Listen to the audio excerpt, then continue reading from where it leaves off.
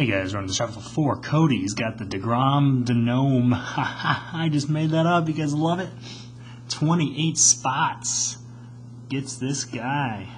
Can't believe a gnome goes for that much, but I have seen this piece and it does. We are live. Time here, Cleveland, Ohio, 6:37 p.m.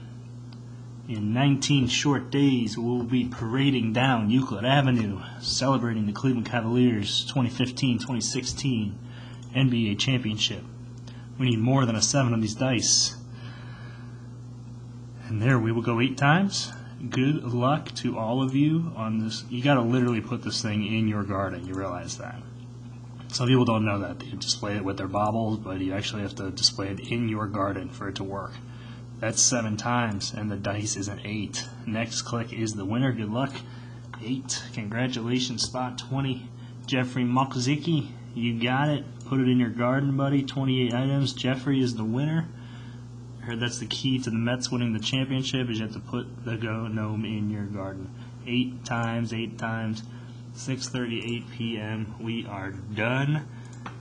Good job.